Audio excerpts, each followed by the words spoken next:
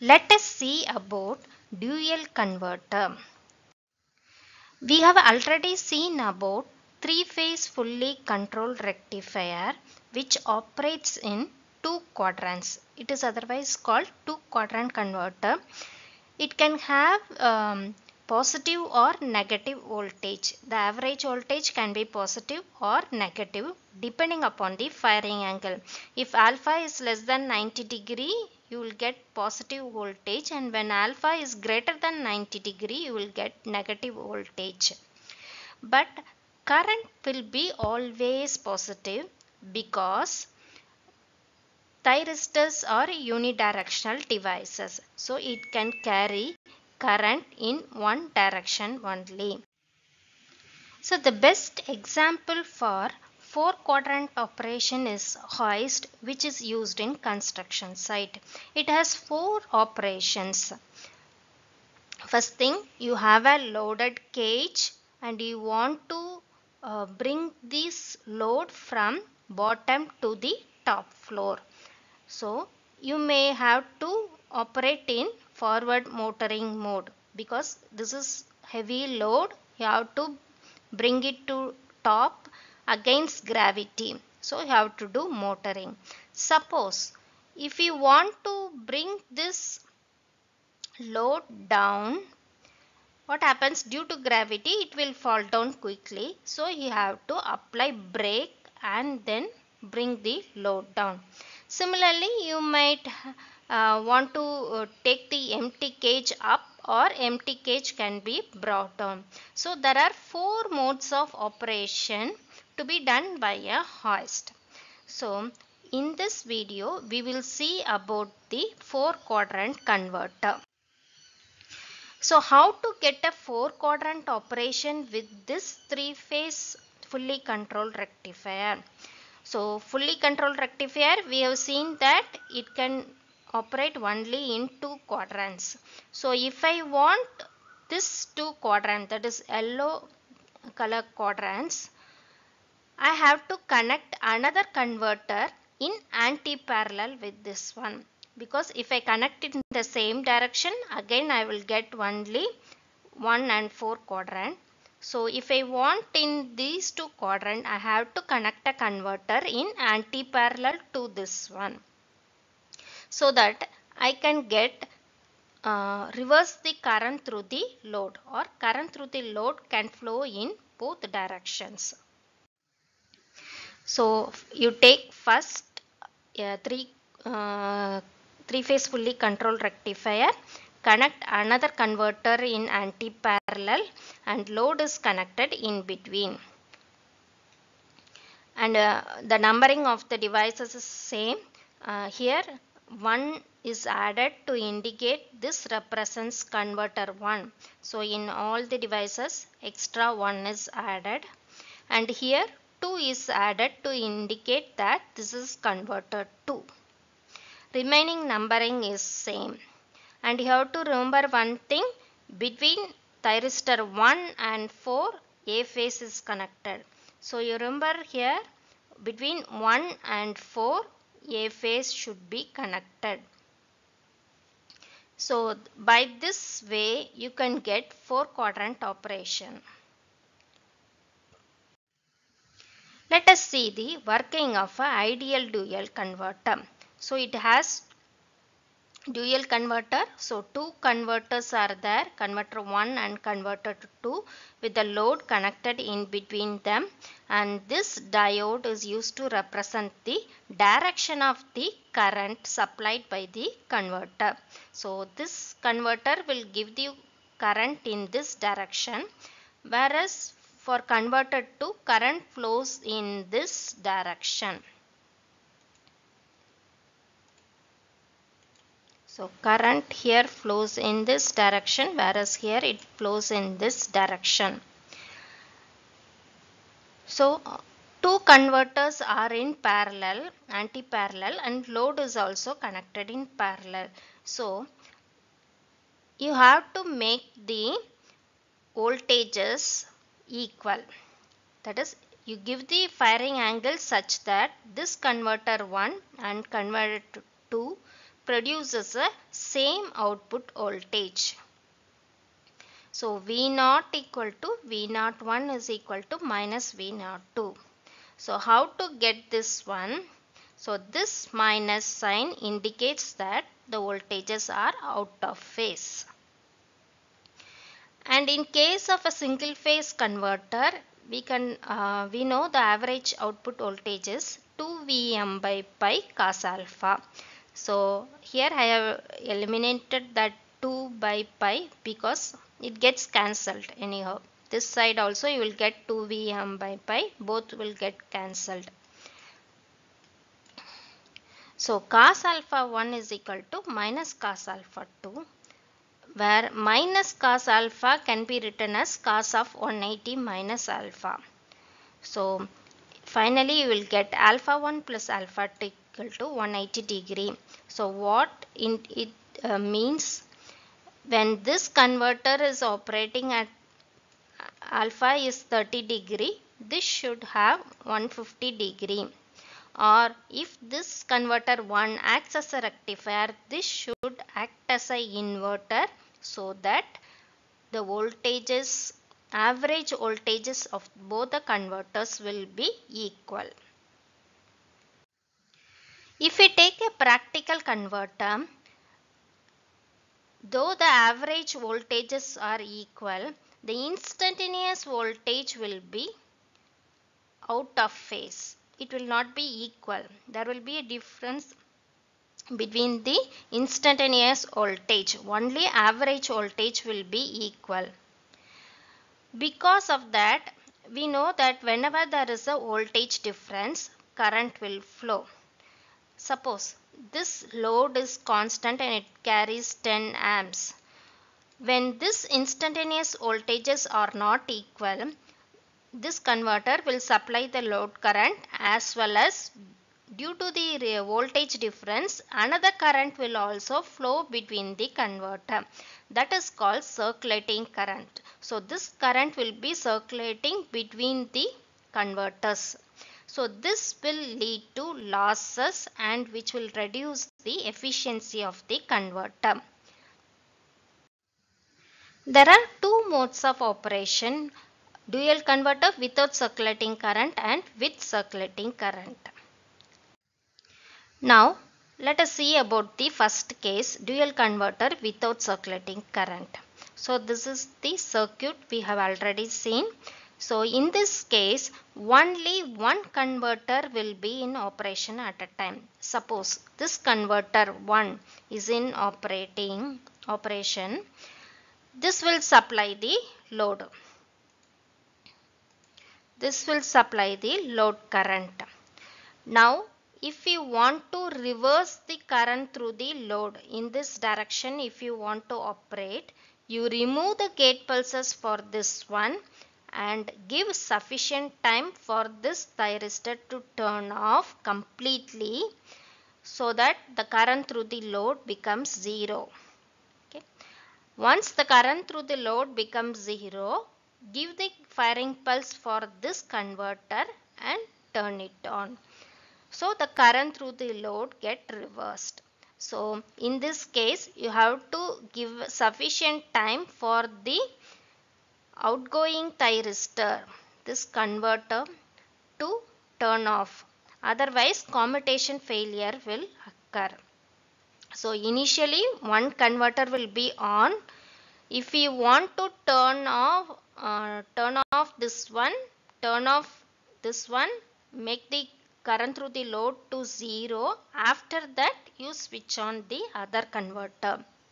So in this case there is no problem of circulating current.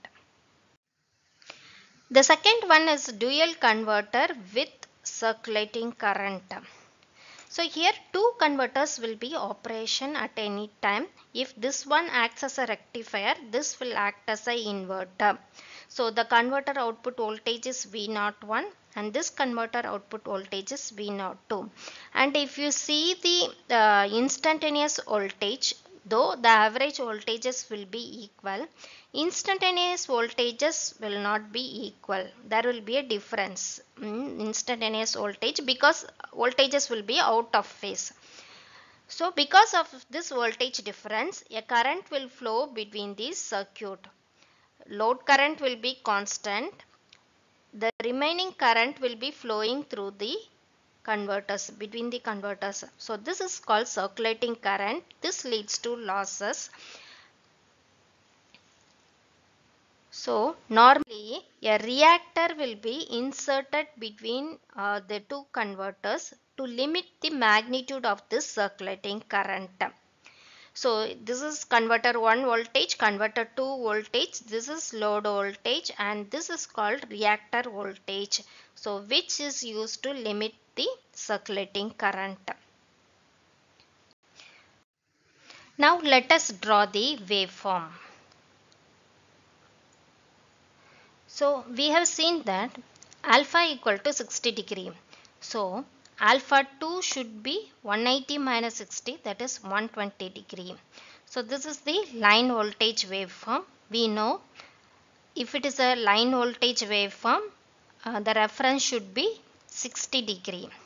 So you have to calculate alpha 1 from this reference of 60 degree. So 60 plus 60 120 degree this thyristor T1 should start. So alpha 2 120 plus 60 so at 190 degree converter 2 should conduct. So this table we have seen already in the previous video how to write this one. So if it is T1 write A first 6 belongs to B phase so write B. So always write the upper device phase first then lower device phase. So now we will draw the converter 1 voltage. So first uh, when T1 should conduct means you have to follow voltage VAB. So where is VAB waveform? This brown color waveform. So alpha 1 starts here. So follow VAB waveform till this one. Okay. Then VAC waveform. So VAC is this blue color dotted line. So follow that. Then VBC waveform. VBC is this green color.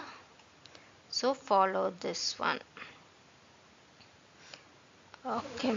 So now you can draw this one separately. That is the converter 1 voltage. So you can write VAB, VAC, whatever it is coming. Similarly, you can draw for uh, converter 2. So for converter 2 also same procedure. So you will get this waveform. So if you see here why you are getting in uh, opposite direction because converter is uh, turned on here. So at this point you have to follow what is VBA waveform.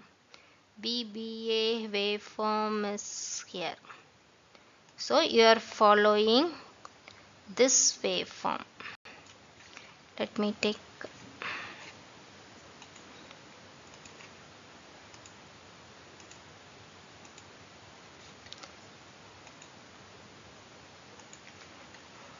So VBA waveform is here. So you follow this waveform.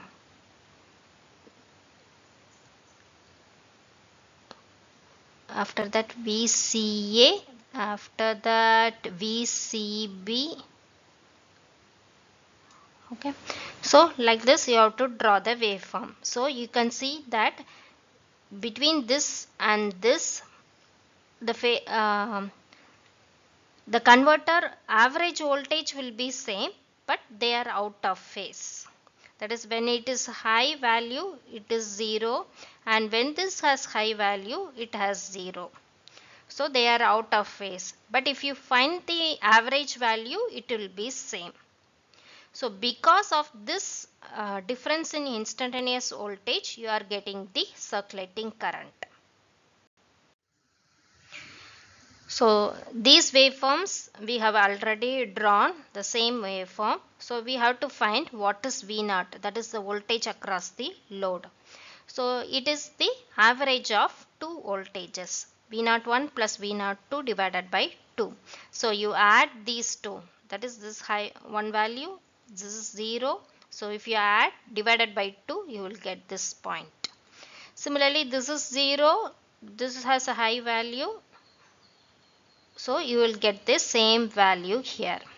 So in between you will get some maximum value. So this is how you have to draw the V naught waveform. Next VR waveform that is the voltage across the reactor. So VR is equal to difference of these two voltages V naught 1 minus V naught 2 that is equal to you can find any one period you take this period VAB here it is VBC. So V naught 1 is VAB and V naught 2 is VBC. So you subtract these two. So this you can find it from that waveform itself. So if you find VAB and VBC waveform there will be a phase difference of 120 degree. So, so this is Vm sin omega t means VBC should be Vm sin omega t minus 120 degree. So if you subtract these two, you will get root 3 times sin omega t plus 30 degree. So you can draw the phasor diagram and find out this one. It is very easy. So VR you have completed. Then how to find IC from this one? VR is equal to L into dic by dt. Okay. So what is IC? Integral of integrate VR you can find what is IC. Instead of doing that calculation simply from by seeing the waveform you can draw it. This has a maximum value so this should be 0 and this has a maximum value so this should be 0. In between you have a 0 value. So a term if you differentiate a term it will have 0 only when it is maximum. So you will get a maximum point here. Okay. So this is how the circulating current will be. So this is load current we have assumed to be constant. So it's a constant load current. So converter 1 will supply this load current plus circulating current. So add these two you will get this converter 1. Converter 2 is nothing but this circulating current same current. So this is how you have to draw this waveform. So if you see the advantages of circulating type converter, wherever you want to reverse the load current frequently, uh, for example, I told uh, hoist application where you have to move up or down or you have to do the, um, reverse the load current continuously. You can go for this type, circulating type. And this has a faster response because you no need to wait for some delay to turn off the thyristor. Disadvantages if you see uh, the reactor is required to limit the circulating current. Uh, as the circulating current increases, size of the reactor increases. If size increases, cost increases. And this reactor will lead to more losses because current is flowing through it and there will be losses. So because of that, efficiency of this system will get lowered. And this um, has to carry, the converter has to carry load current plus circulating current. So the rating of the thyristor will be high. So the points to remember here are two three-phase fully controlled converters can be connected in anti-parallel to get the dual converter or four quadrant operation. There are two types dual converter without circulating current which is similar to a three-phase fully controlled converter. So only one will be in operation at any time but you have to give sufficient time for SCR to commutate. The second type with uh, circulating current both the converters will operate at the same time with one acting as a rectifier and the other acting as a inverter. So dual converters are used for supplying 4 quadrant DC motor drives. These are some of the references and if you like the video do subscribe to our Read Electric Vehicle channel. Thank you.